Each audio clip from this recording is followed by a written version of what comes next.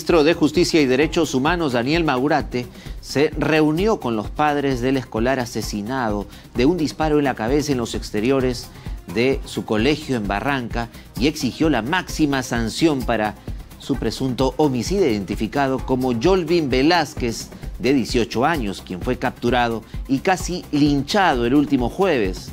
En conferencia de prensa, Maurate anunció la implementación de una campaña de su sector para erradicar la violencia en colegios que constará en la capacitación de profesores administrativos y padres de familia.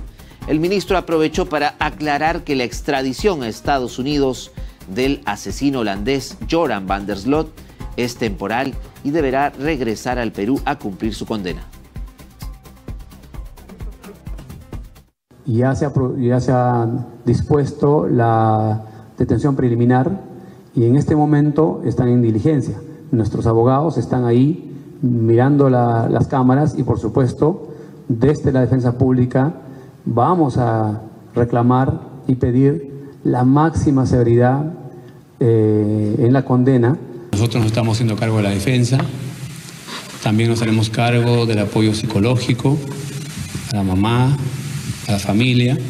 Nosotros hemos aprobado eh, eh, una, extradición provisional o temporal, vamos a llamarlo así, eh, para que este, este señor pueda ir a Estados Unidos a ser juzgado. Y eso se ha producido porque Estados Unidos, las autoridades de Estados Unidos están preocupadas que con el paso de tiempo los testigos y las pruebas puedan desaparecer y pueda generarse una impunidad.